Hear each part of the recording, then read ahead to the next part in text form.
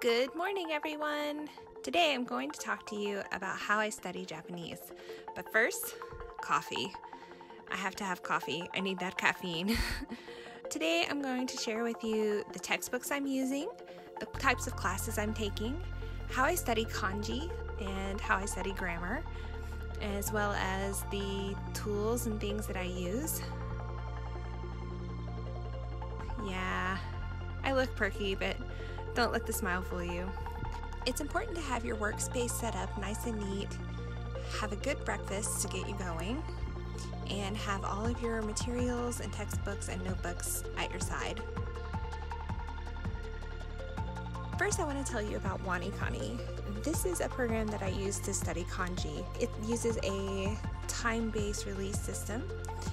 I keep a notebook that I write down all the new kanji that I learn.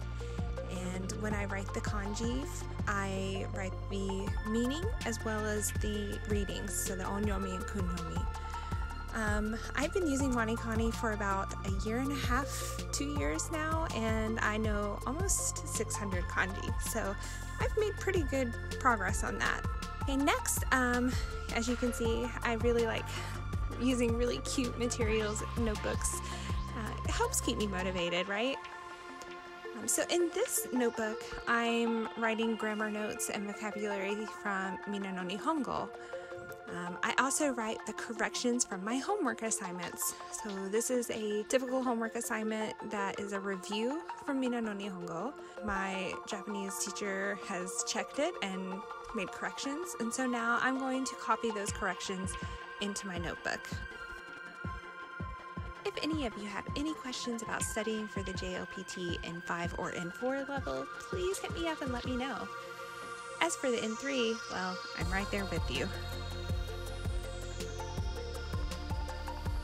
I did pretty good on this assignment. Okay, next is a different textbook. This is the class that I go to on Saturdays. This textbook mainly focuses on grammar and kanji.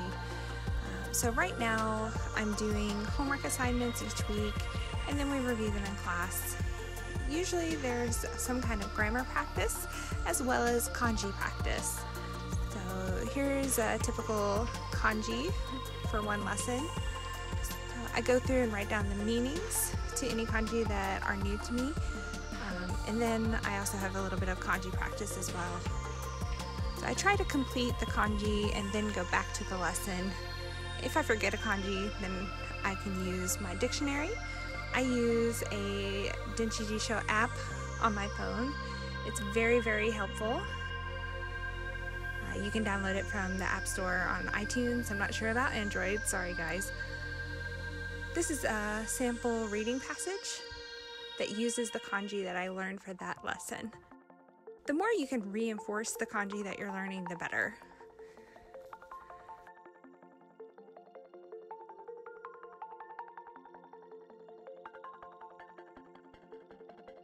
So next up, I want to show you guys kind of how Minna no Nihongo works. So this is Minna no Nihongo 2. So I'm on the second level. This is the textbook. This textbook I feel like is hard to use if you're doing independent study, but it works really well if you have a guided class. Um, I'm taking a private lesson uh, using this particular book. Here's the homework sheets that I get.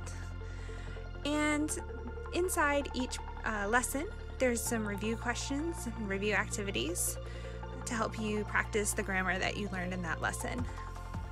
This is the grammar guide.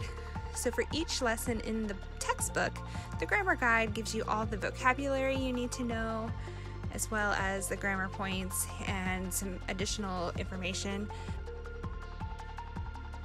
There's also translations of the listening activities.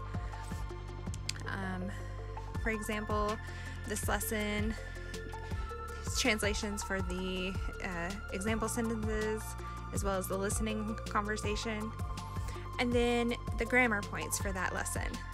Usually there's anywhere from three to six grammar points, depending on the chapter.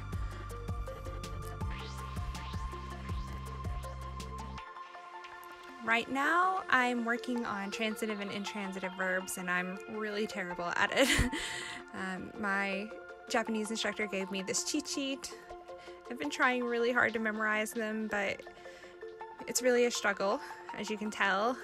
I didn't do my best on this assignment. Next up, I want to share with you my notebook. So, my notebook is divided into different sections. I like to make it very bright and colorful and very well organized. So, if I'm looking for information, uh, it's easy for me to find. I also have a photographic memory, so making things colorful and visually interesting helps me to retain information. I have different sections for different topics. Uh, this section, oh yeah, there's my cute Sailor Moon washi tape. This section is about automatopoeia.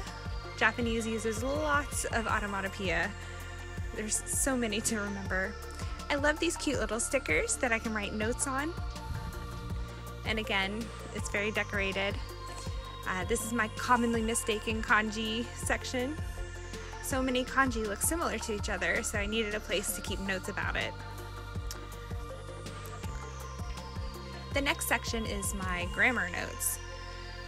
Most of this grammar is from when I was studying for N4, um, but it is kind of building up. I'm adding more and more N3 grammar now. I know it might look like a lot of color, but I promise there is a method to my madness.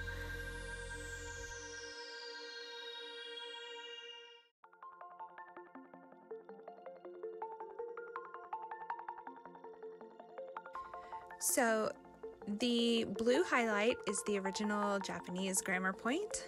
The purple, anything highlighted in purple is a translation. Green is sentence structure. Pink is usually an example. And then again, the purple is the translation. So for each grammar point, I try to make two or three different examples to help me remember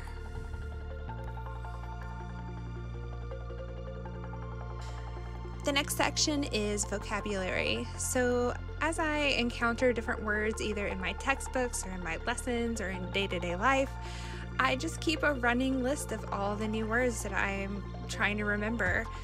And I review these words usually once a week.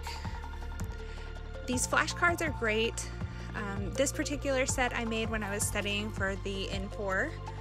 I use these to learn grammar points. So I'll write the English translation and then the Japanese.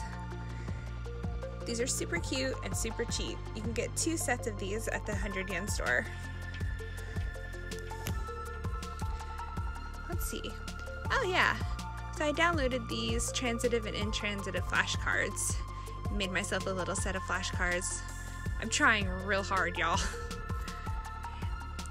Also in my incredibly cute Sailor Moon pen case. I have some correction tape, which I use more often than I'd like to admit. Lots and lots of cute pens, highlighters, my awesome Sailor Moon stickers that I got at three coins. Yay!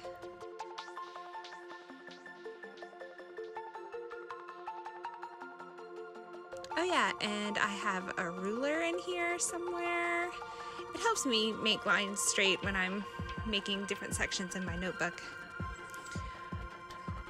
I also have this really convenient pair of scissors. They look like a pen, but ta-da! They're actually scissors.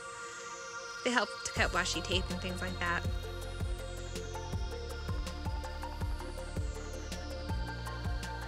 These are my main three writing utensils. So I have this big pencil and then this is my skinny pencil, it's 0.3. I use that to write kanji in my kanji notebook. And I also have a 0.38 pen. Yeah, here's my pen. I have my notebook clearly labeled for each section, so it's easy for me to find what I'm looking for. I have this section that's just food and cooking vocab because it's kind of important to me, right? And I'd like to do some food and cooking videos in the future in the uh, beginning section, these are kind of older pages, but this is helping me learn different verb conjugations, different vocabulary for specific topics. It just helps me to keep everything organized.